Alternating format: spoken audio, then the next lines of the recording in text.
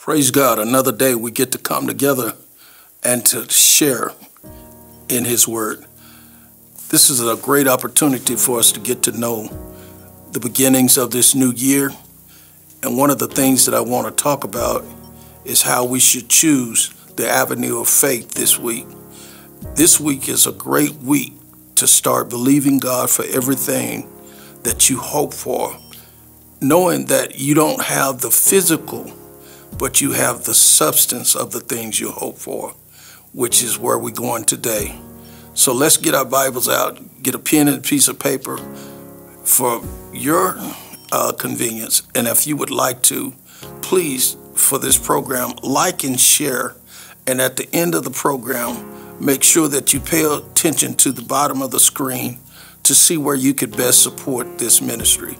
We also solicit your prayers and asking God to shore us up and to make sure that we do everything that He calls us to do this year with great power and more than that, with the excellency of Christ to do it His way.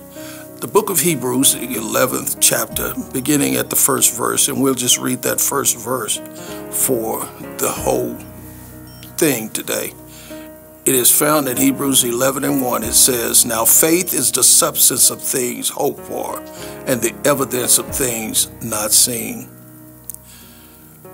Now, there are some various variances and very uh, important things that I'd like to talk about faith in your life and in my life. And one of the things that I want to make sure that we understand that faith is invisible. Uh, according to the scriptures, uh, it is very important to know that when you talk about faith, uh, I didn't put it in here today, but I want to regurgitate it for your listening. Uh, Romans 10 and 17.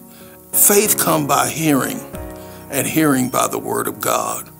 As we hear God's word, we need to gather the faith of the invisible and make it become tangible enough to believe for the natural to grab it from the spiritual realm and make it manifest. Uh, one of the things that I'm, I'm most uh, intrigued about a lot of times is how well a seat has been designed to uh, take my weight.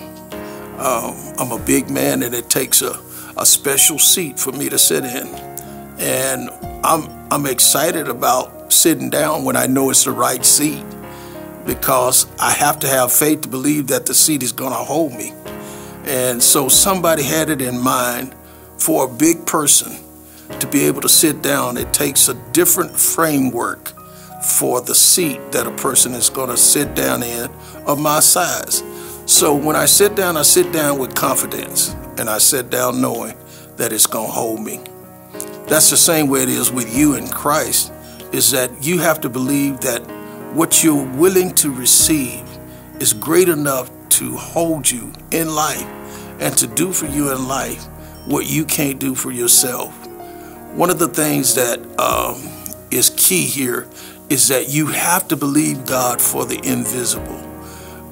And that can only come by what you hear, your mindset, how you see things, and all of the things that you now look at we understand that you already possess the seed of faith. According to Romans 12 and 3, it has been given to every one of us a measure of faith. So we already come here with a portion of faith. It just depends on how well we use it. So write that scripture down Romans 12 and 3. We already possess the seed of faith. There is nothing that God gives us that He doesn't already have an answer for.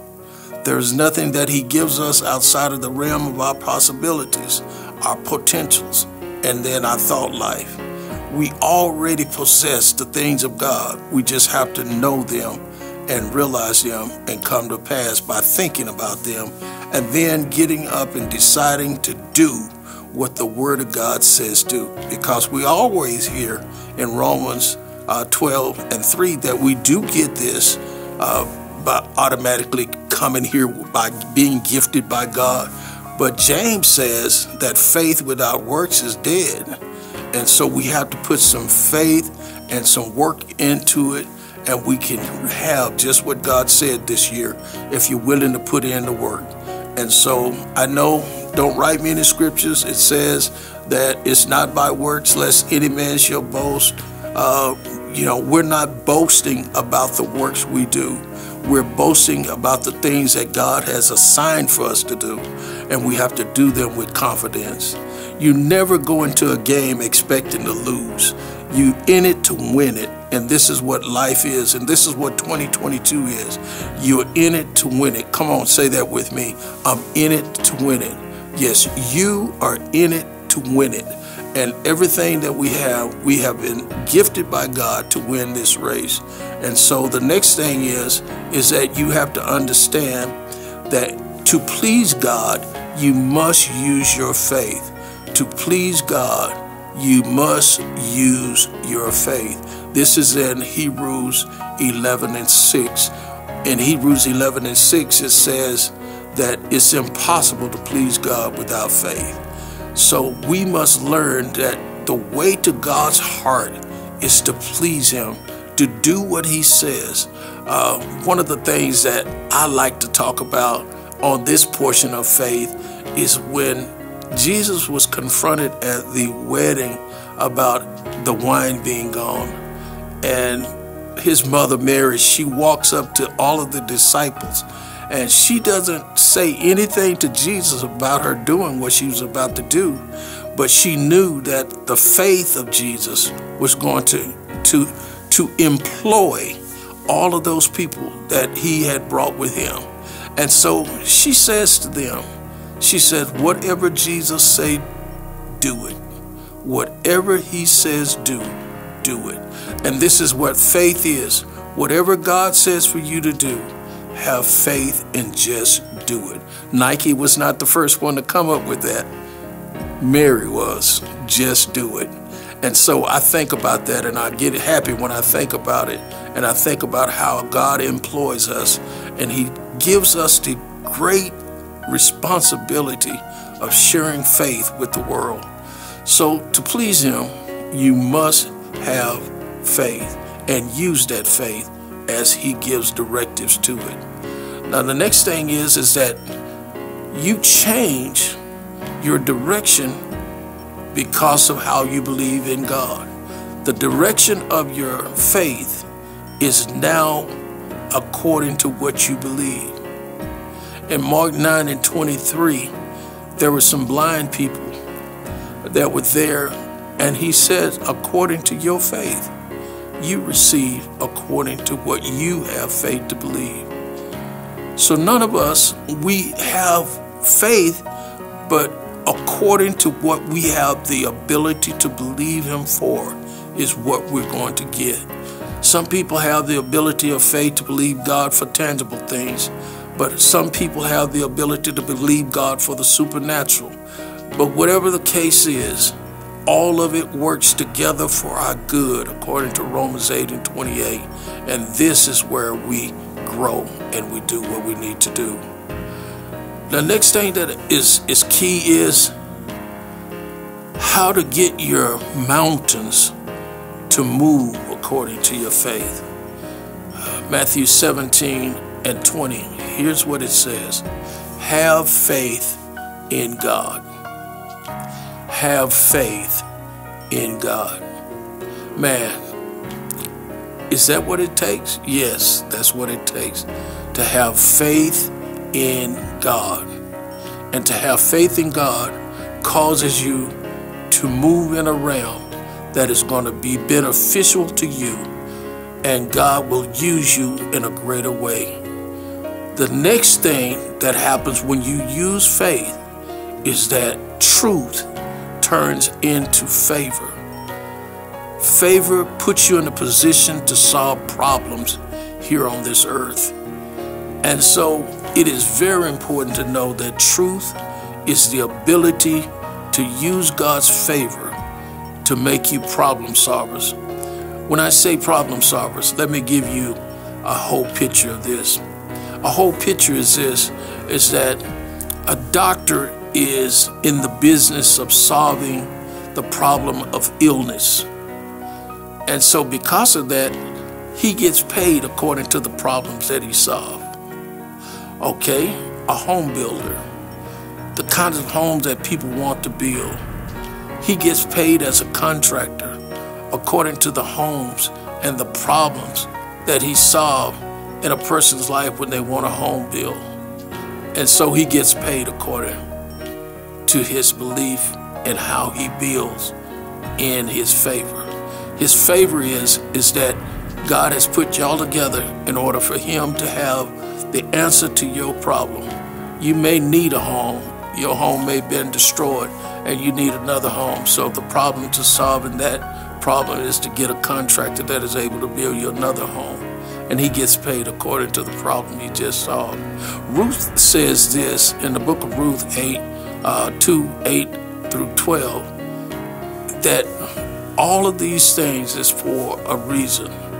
And God gives us favor for this reason that He makes us become a gifted person, and every one of us have this gift of favor on our life because God will give us favor, and it is number one a gift. A gift is something you don't deserve. A gift is something that you can't pay for. A gift is given by the giver of that favor. And his name is God, Jehovah, God. And he says in Revelations 3 and 7 that he gives us his favor. And so that's the key, is giving us favor to do what he wants us to do. I'm reminded of Jesus when he was of age and he was walking in life. And the Bible said that he grew in favor with God and with man. So God will give you favor with himself, but he'll also give you favor with men. Now, what is favor? Favor is an expectation from God to know what you're able to do. Psalm 127 and 1. Favor is to be expected when you know God. Favor is to be expected when you know God. Favor, being as a seed, returns as a harvest. Favor, which is a seed, returns for us as a harvest. And this is Galatians 6 and 7 says that we will reap if we don't faint.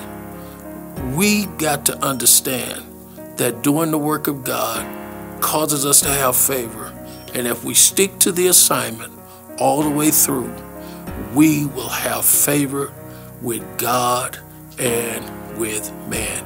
And it will yield for us a harvest.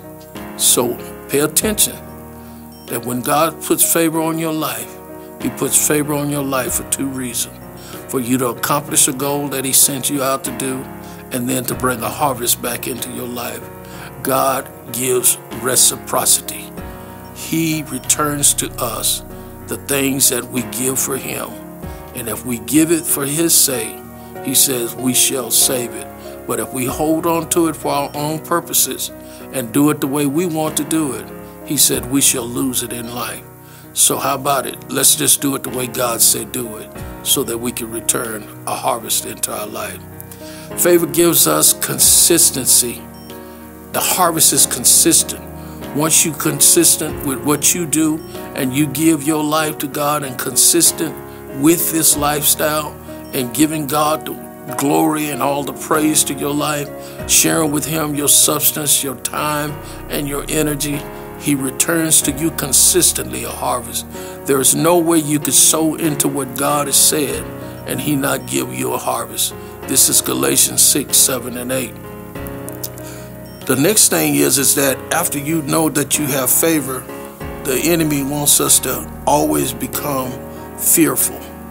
This year, you cannot afford to become fearful. And sometimes you have to do things afraid. I talked about it last week, but this week I really want to expound on it. Faith is the substance of things hoped for. And the opposite of faith is fear. There is an opposite, and the truth about fear is fear distorts your focus. Fear takes you away from your goal. Fear makes you doubt in belief of God. Fear causes you not to do everything that God wants you to do. Fear is so devastating to the believer that it puts him in a state of doubt.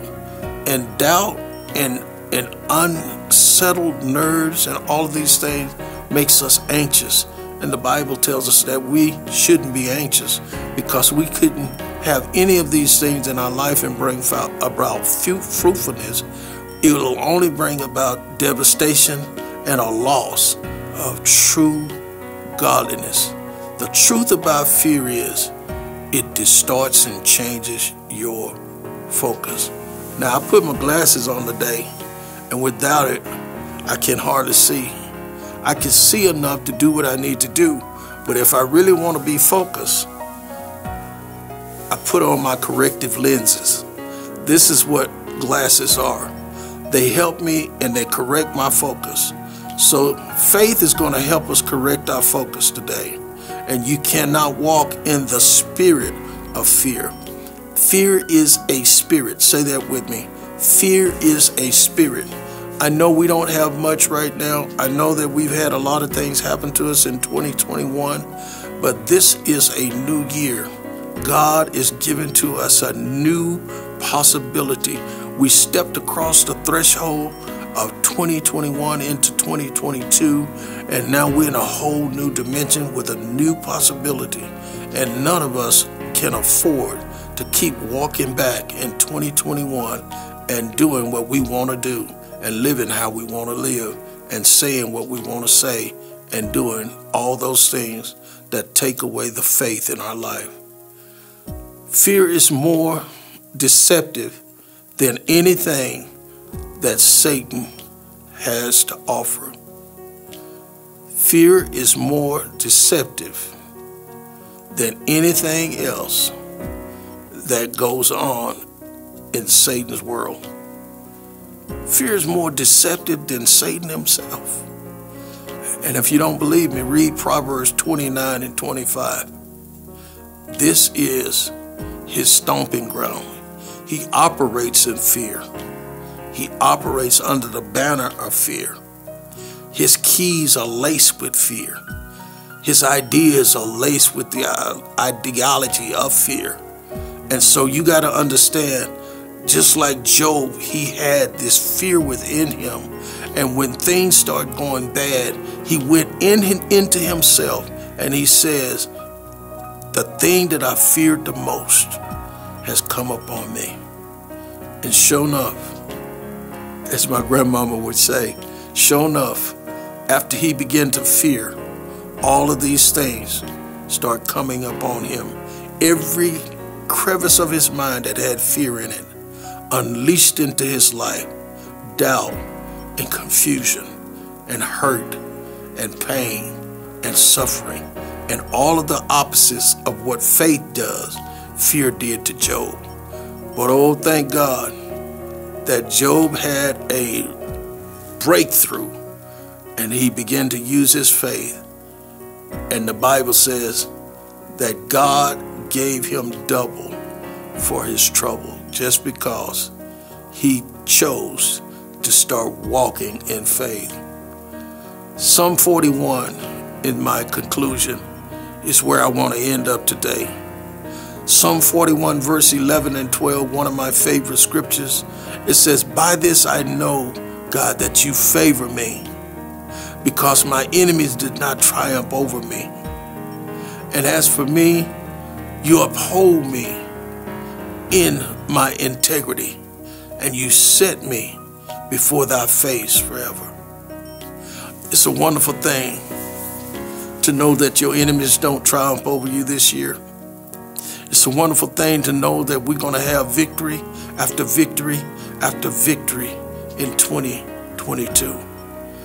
But more so to know that God is with us. God is with us. Say that with me. God is with us. And because God is with us, He's going to cause great things to happen. He'll take those negatives, just like the car battery, He'll take a negative and a positive in your life and he'll jumpstart you over again and he'll cause you to get some energy like never before. And you need to know that faith is the substance of things hoped for and the evidence of things that are not seen.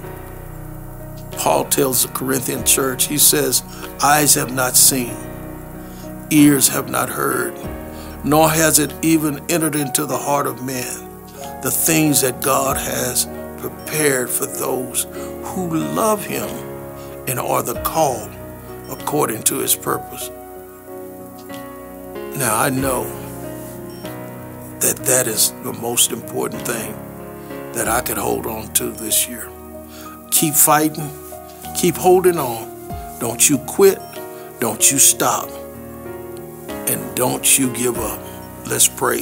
Father, in Jesus' name, for every person that has heard this message, for every person who know that they're walking in the shadows of fear, I pray for deliverance. I pray for peace. I pray for understanding. I pray for you to guard the heart of your children. And I pray, Lord, that you will give us peace, that we may be able to guard our heart and our mind Forgive us of the things that you told us to do and we have not yet done. And we're now in 2022. And things that you told us to do in 2021 we have not yet done. So, Father, carry us over to greatness. And so we choose to believe. Let faith come by what we hear. And what we hear is your word. You are speaking, but who's listening? I pray that you would cause this generation which we live in to come to know you. And as we get to know you better, Father, I pray for those who need to turn. And I pray your peace over us. Guide us and keep us. Thank you for everything you've ever done for us. Help us to be mindful that you have not forgotten us and we're still connected to you. In Jesus' name, amen. God bless you. I'm going to ask you, for those who would like to support this ministry, first of all, pray for us. Second of all, you may give to the to the ministry in various ways. They'll be down at the bottom. Just pay attention to those uh, uh, ticker tags that's down at the bottom. And please give. Please do what we can to keep this ministry going. We pray for you that are going through COVID 19 and then the Omicron variances and, and all of the different strands of viruses that, that, are, that are being uh, morphing into uh, different things. And I want to pray again in my prayer time for you. Let us know how this is working for you. Inbox us. Uh, go to the ministry side of it. You could go to famtext.org, the website, and there's a place on the website for you to get in touch with us and let us know how we're doing. We're going to start this year out great. We're going to finish well, and we're going to do everything that God called us to do. God bless you.